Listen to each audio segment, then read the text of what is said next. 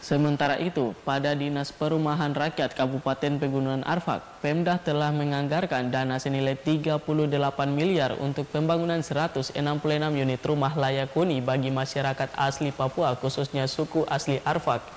Rumah layak huni tersebut akan dibangun menyebar ke 166 kampung dengan menggunakan anggaran otsus murni.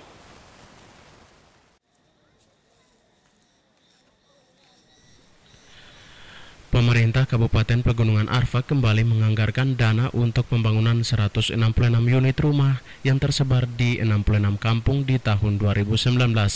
Sementara dana yang dianggarkan untuk 166 unit rumah tersebut senilai 38 miliar rupiah yang berada di Dinas Perumahan Rakyat Kabupaten Pegunungan Arfak.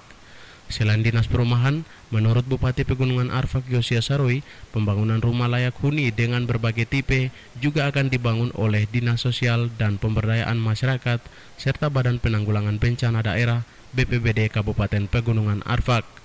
Kesemuanya itu menurut Bupati akan nampak dalam laporan pertanggungjawaban Bupati kepada DPRD di tahun 2020 dan 2021 mendatang.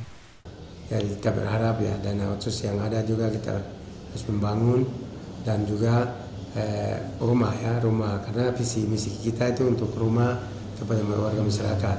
Kita tahun ini kita anggarkan juga dana sebesar 38 miliar juga di Dinas Perumahan Rakyat untuk hmm. membangun 166 eh, unit rumah kepada warga masyarakat tapi dia tersebar ke 166 kampung. Selain menyangkut anggaran kegiatan, Pemda Pegunungan Arfak juga telah membuka pengumuman seleksi terbuka pengisian jabatan pimpinan tinggi Pratama Eselon 2B untuk tujuh posisi jabatan.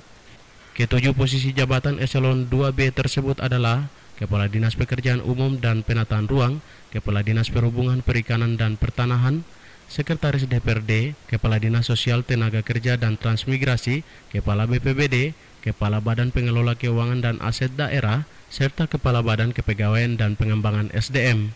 Ketujuh posisi jabatan ini selama ini hanya diisi dengan pelaksana tugas sehingga membuat Pemda Pegunungan Arfak membuka seleksi terbuka bagi ASN yang telah memenuhi persyaratan yang ditetapkan panitia seleksi. Menurut Bupati, seleksi ini terbuka untuk umum tanpa ada pembatasan dari luar Pegunungan Arfak. Namun perlu juga dipertimbangkan keberpihakan kepada orang asli Papua dengan mengacu pada Undang-Undang Otsus serta karakteristik suatu wilayah. Akan tetapi Bupati tidak akan mengintervensi panitia seleksi karena semuanya telah diserahkan kepada panitia seleksi yang diketahui oleh Sekda Kabupaten Pegunungan Arfak. Lelang jabatan sebenarnya terbuka untuk umum, tapi pasti ada alasan-alasan yang mendasar seperti ada undang-undang otsus, iya, iya, terus ada keperpihakan kepada orang asli Papua, ya itu juga. Tapi yang jelas ini kita lelang jabatan ini untuk umum ya, karena alasan pertama tadi pasti yang uh, undang-undang otonomi khususnya ya dan juga karakteristik wilayah ini ya, budaya adat dan tradisi ini kita harus mempertimbangkan tapi itu saya kembalikan ke tim seleksi. Diketahui kalau selama ini ke-7 jabatan eselon 2B tersebut hanya diisi dengan pejabat pelaksana tugas karena ada beberapa kepala dinas yang telah pensiun, pindah tempat tugas ke Kabupaten Manokwari maupun Provinsi Papua Barat, serta juga ada yang telah meninggal dunia. Dari Pegunungan Arfak, Yusuf Tandi mengabarkan.